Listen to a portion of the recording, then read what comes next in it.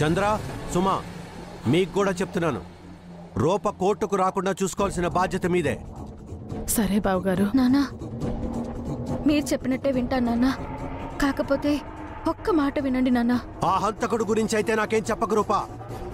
నిజంగా మీరన్నట్టు రాజు హంతకుడని నిరూపించగలిగితే నేను ఈ జన్మలో రాజు మొహమే చూడను అయితే రూప ఈ జన్మలో రాజు మొహం చూడదు. ఒకవేళ రాజు నిరపరాధి అని రుజువైతే మీరు రాజుని క్షమించాలి నాన్న.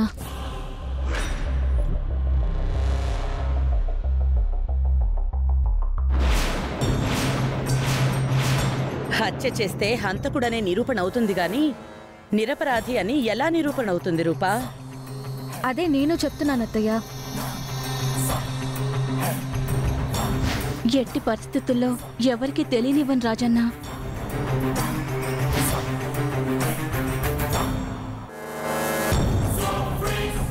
సరే రూపా నువ్వు చెప్పినట్టే చేద్దాం.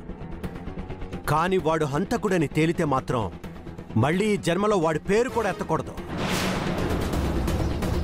అలాగే నాన్న. పదక్క వెళ్దాం. నమస్తే పెద్దయ్య. ఏంటమ్మా రేణుక? రెండు మూడు రోజులుగా కనిపించట్లేదు? అయ్యగారు మీరు కోపండి చెప్తా. ఏంటది? మా ముత్యాలత్తకి రెండు కిడ్నీలు పాడైపోయాయి.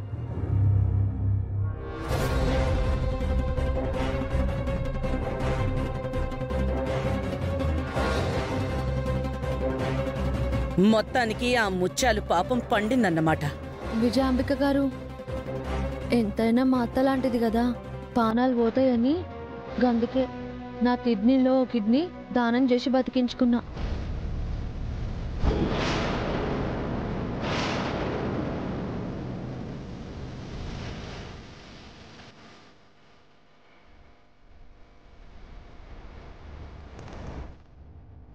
మీ ధైర్యాన్ని మెచ్చుకోవాలి రేణుక. ఆయన కిడ్నీ దానం చేసి ఏదో ఇడ్లీలు దానం చేసినట్టు చాలా హుషారుగా తిరుగుతున్నా.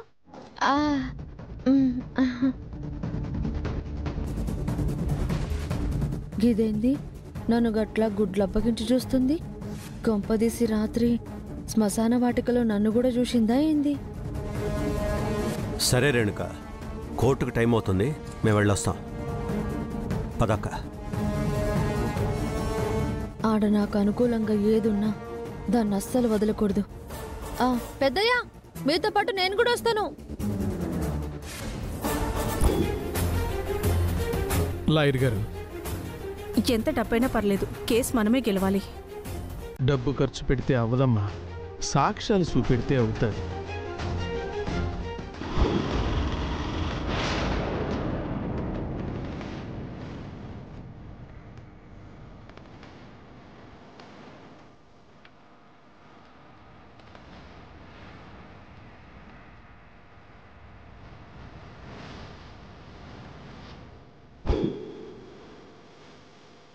ఏమయ్యా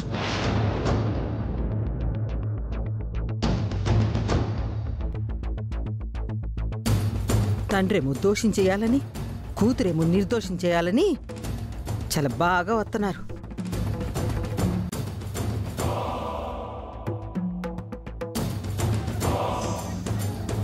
ఆ, అత్త? అత్త కాదు. రాజుని నేను బయటకు తీసుకొస్తాను. నీ కిడ్నీ ఇచ్చి నిన్ను కాపాడుకున్నట్టే రాజును కూడా ఎలాగోలా బయటకు తోలుకొస్తా. ఆ, సార్ అంతా ఓకే కదా? అంతా ఓకే సార్. Okay sir. మీరేం కంగారు పడకండి. కూర్చో రూపా.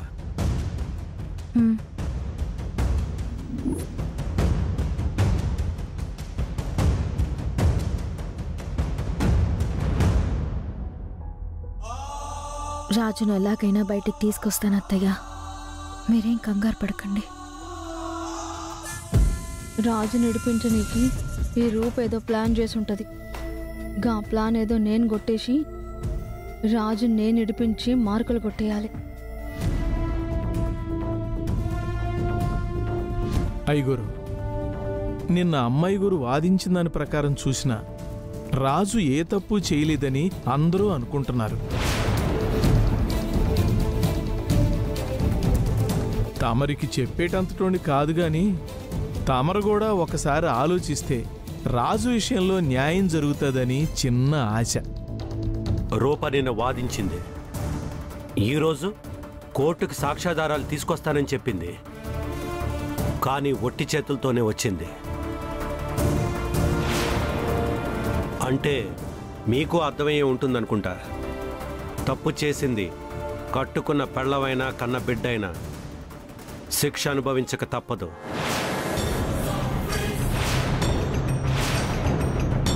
తప్పు చేసిన బిడ్డని వెనకేసుకురాకుండా అన్యాయంగా చనిపోయిన మందారానికి న్యాయం చేయడానికి ప్రయత్నించండి.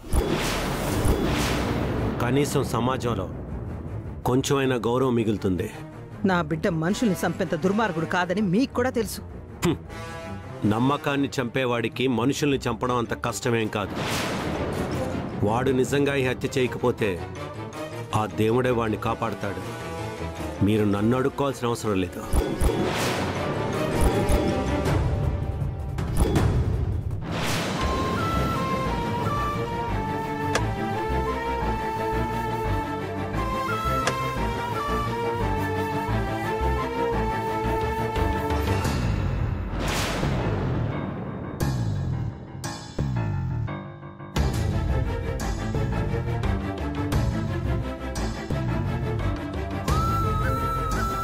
ఒరే నాయన ఏట్రా ఇలా జరిగింది?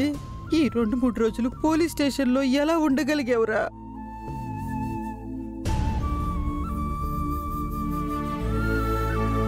నువ్వేం బాధపడకమ్మా. ఈ రోజు నిర్దోషిగా నేను బయటకు వస్తాను. నీ ఆరోగ్యం ఎలా ఉందమ్మా? నీ గురించి తప్ప నా ఆరోగ్యం గురించి అస్సలు ఆలోచించట్లేదురా. నువ్వు బయటకు వస్తే నేను మామూలు మనిషిని అవుతాను లేదంటే అత్త రాజు తప్పకుండా రిలీజ్ అవుతాడు. అవునత్తయ్య అవసరమైతే మా డాడీని రంగంలోకి దించుతా. మీరేం కంగారు పడకండి.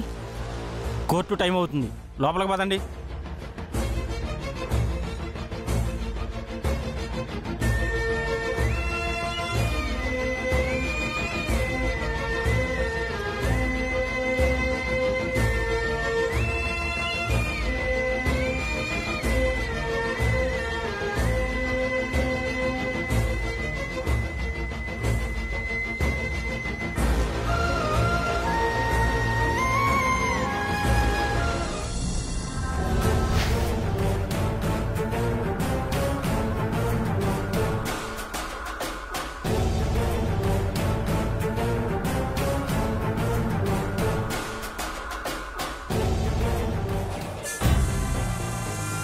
రూప ఎలాంటి ఆధారాలు తీసుకురాలేదు కాబట్టి రాజు బయటపడే అవకాశమేం లేదు.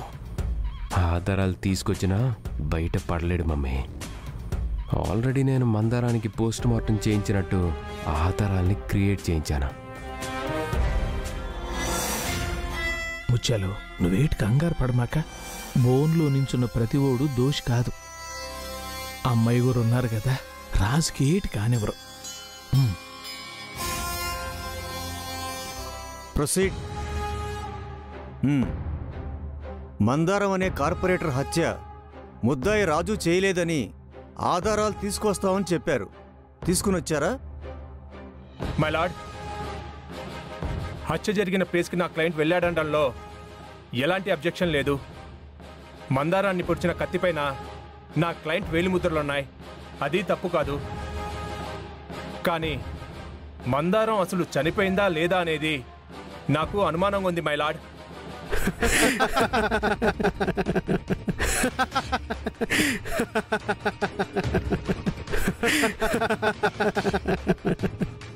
Order order order.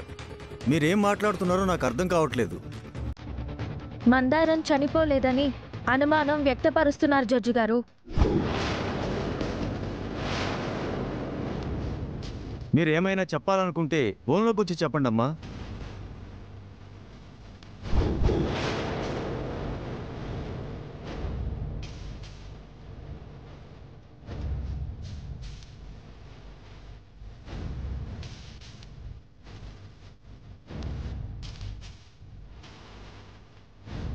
ఇది ఏదో ఒకటి చేసి అత్తమామల దగ్గర మార్కులు కొట్టేస్తుంది.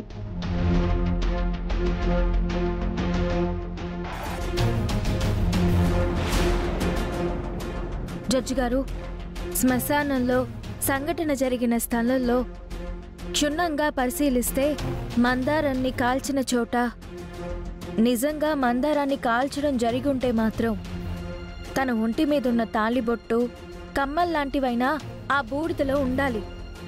కానీ అవి లేవు.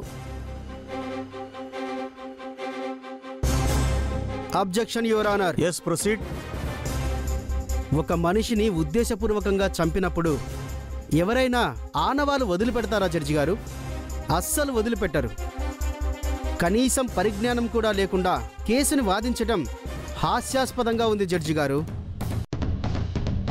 జడ్జి గారు ఈ ఫోటో ఒకసారి చూడండి.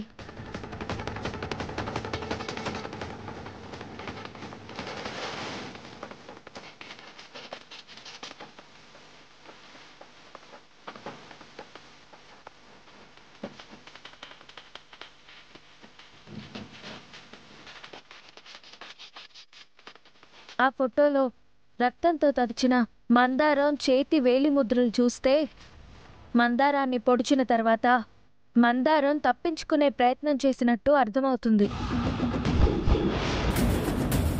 చేతి ముద్రను చూసి మందారంవే అని ఎలా చెప్పగలరు? కట్టుకథ చెప్పినా నమ్మేలా ఉండాలి. లాయర్ గారు కట్టుకథలు చెప్పాల్సిన అవసరం నాకు లేదు. ఆ వేలి ముద్రలు మందారానివే అని ఫారెన్సిక్ రిపోర్ట్ ఉంది. లాయర్ గారు మీరు చూపించండి. అలాగే.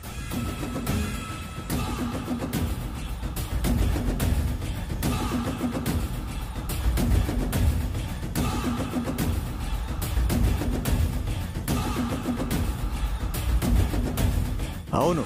రిపోర్ట్స్లో మందారమే అని ఉన్నాయి. రాజు మందారాన్ని నువ్వు చూసినప్పుడు ఎక్కడుంది ఎలా ఉంది? శ్మశానం లోపల కత్తిపోట్లకు గురై రక్తపు మడుగులో కనిపించింది. మళ్ళీ నువ్వు తిరిగి వచ్చి చూసినప్పుడు ఎలా ఉంది? అదే ప్లేస్లో కాలిపోతూ కనిపించింది. నోట్ దిస్ పాయింట్ జడ్జి గారు. రాజు చెప్తున్నట్టు మందారం కత్తిపోట్లతో శ్మశానంలో ఉన్నప్పుడు తిరిగొచ్చి చూస్తే కాలిపోతూ కనిపించినప్పుడు మరి గోడ మీద మందారం చేతి గుర్తులు ఎలా వచ్చాయి? మందారంని పొడిచాక తప్పించుకునే ప్రయత్నంలో ఆ చేతికున్న రక్తం ఏ గోడకు అంటుంటుంది. ఇలాంటి చోటుకి రాకూడదని రూల్ ఏమైనా ఉందా? ఏమంటారు మై లార్డ్? అది కూడా ఈ అవకాశం ఉంది. మందారం చనిపోయిందనే దానికన్నా బతికే ఉందనే అవకాశాలు ఎక్కువగా ఉన్నాయి. నా దగ్గర ఉన్న ఆధారం అదే. కానీ మందారం బతికే ఉందని ఆధారాలతో సహా నిరూపించడానికి నాకు కొంచెం సమయం కావాలి. అబ్జెక్షన్ యువర్ ఆనర్ ఈ అమ్మాయి ముద్దాయిని ఎలాగైనా తప్పించాలని చూస్తుంది. అందుకే నిన్న ఒక్కరోజు టైం అడిగింది ఇప్పుడు ఇంకొంత సమయం కావాలి అంటుంది.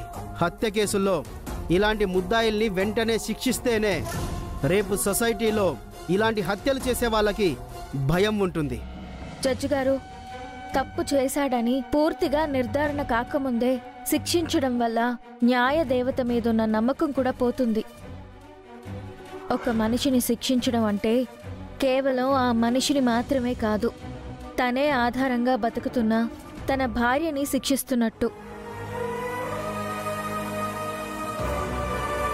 తన కుటుంబాన్ని శిక్షిస్తున్నట్టు.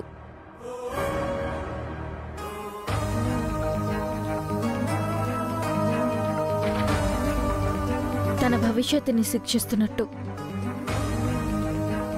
కానీ పూర్తి ఆధారాలు లేకుండా శిక్ష వేయడం అంత కరెక్ట్ కాదు జడ్జి గారు.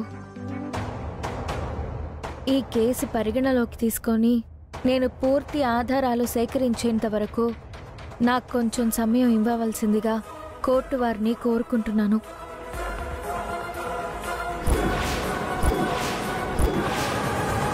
ఈ కోర్టు భోజనం విరామం వరకు వాయిదా వేస్తున్నాను.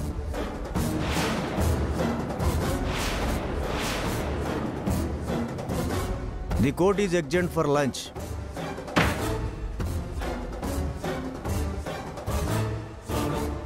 ఈ విరామం పూర్తయ్యేలోపు ఎలాగైనా ఆధారాలు సేకరించాలి.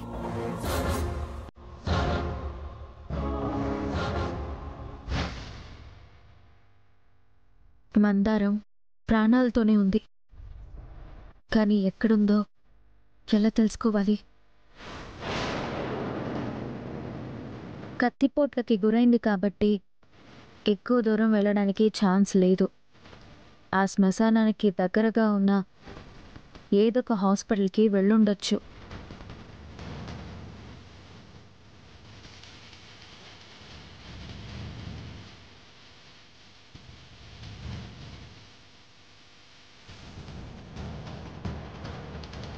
ఉమ్, ఈ రూప ఇక్కడేం చేస్తుంది? హలో?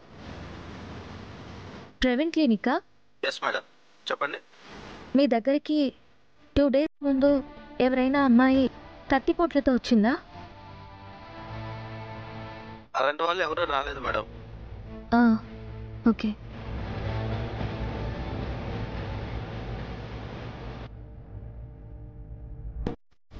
చెప్పండి. సార్ మీ దగ్గరికి టూ డేస్ ముందు ఎవరైనా కత్తిపోట్లతో ఒక అమ్మాయి వచ్చి అడ్మిట్ అయిందా? అలాంటి వాళ్ళు ఎవరు రాలేదు మేడం. Thank you. ఇప్పుడు ఏం చేయాలి శ్మశానానికి దగ్గరగా ఉన్న హాస్పిటల్స్లో ఎక్కడా జాయిన్ అవ్వలేదు. ఇప్పుడు రాజును ఎలా బయటికి తీసుకురావాలి? దేవుడా నవ్వే ఒక దారి చూపించాలి.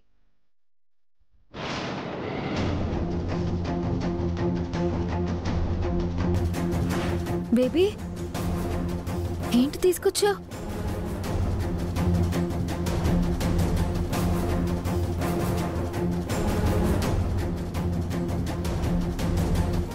మూలిక ప్రయోగవలయ అంటే మందారం ఇక్కడేమైనా ఉండుండొచ్చా? బేబీ పద.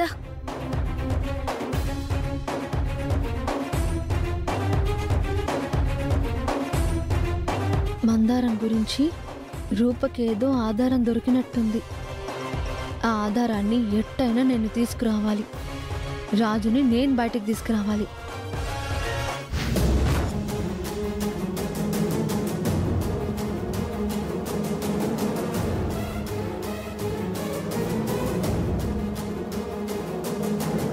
రూపెక్కడికి వెళ్ళింది తమ్ముడు? ఏవో సాక్ష్యాల కోసం వెళ్ళింది కదా. చివరి అవకాశం కదా. చూద్దాం అక్క. అతయ్య ఆ రూపం నమ్ముకుంటే అంతే. లాయర్ గారు రాజుకి శిక్ష పడ్డానికి వీల్లేదు. డాడీతో మాట్లాడి మిమ్మల్ని డిస్ట్రిక్ట్ కోర్ట్ నుండి హైకోర్టుకి పంపిస్తాను. లాయర్ గారు నా కొడుకు ఏ తప్పు చేయలేదు కానీ నా కొడుక్కి న్యాయం జరుగుతుందని నాకు అనిపించట్లేదు. ఎంత డబ్బు ఖర్చైనా పర్లేదు నేను చూసుకుంటాను. నా బిడ్డను కాపాడండి. లాయర్ గారు తమరు న్యాయాన్ని కాపాడితే చాలు. ఆటోమేటిక్గా నా కొడుకు కూడా కాపాడబడతాడు. మా ప్రయత్నం మేము చేస్తున్నాం. ఇప్పుడు ఆ మందారం ప్రాణాలతో ఉంటే తప్ప రాజుని కాపాడలేం.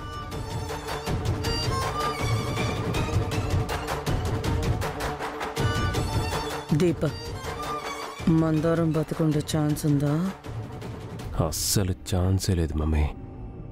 ఇప్పుడు మనకున్న ఏకైక ఆధారం ఒక్క అమ్మాయి గురే ముత్యాలు.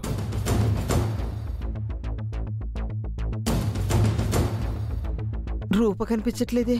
ఒకసారి ఫోన్ చెయ్యి.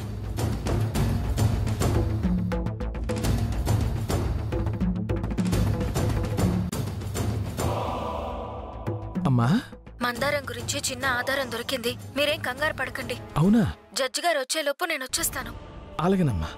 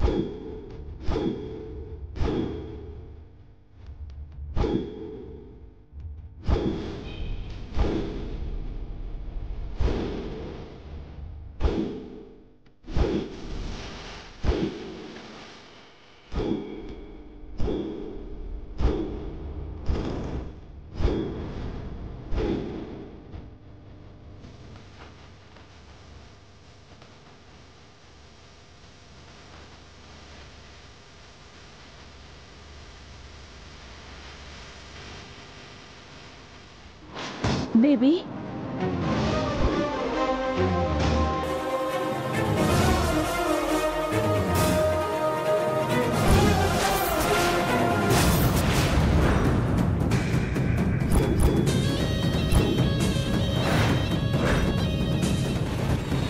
మందారా అమ్మాయి గారు. అసలు అసలు ఏమైంది మందారం? దీపక్ చాలా దుర్మార్గుడు అమ్మాయి గారు.